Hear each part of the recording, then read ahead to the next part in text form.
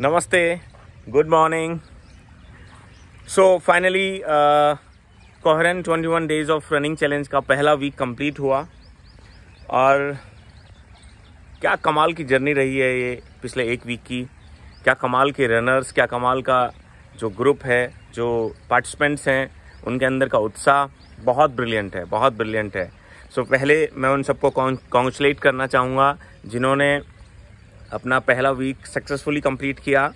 मैं मैं उन लोगों को बधाई दूँगा जो अभी अपने अपने, अपनी जर्नी को स्टार्ट नहीं किया है, लेकिन अपने आप को पुश कर रहे हैं और जो लोग शुरू नहीं कर पाए थे, वो धीरे धीरे अब लोग शुरू कर रहे हैं।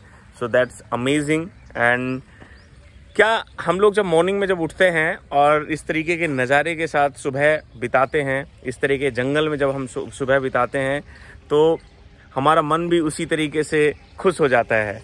और जब मन खुश होता है तो जब हम कुछ भी करने जाते हैं किसी भी चीज़ में हाथ डालते हैं या किसी चीज़ में भी हम लोग अब एक सही मन से कुछ करने की कोशिश करते हैं तो सारी चीज़ें सही होने लगती हैं चाहे वो बिज़नेस हो चाहे रिलेशनशिप हो चाहे वो आपकी आ, आपकी इनर पावर हो हेल्थ को लेके।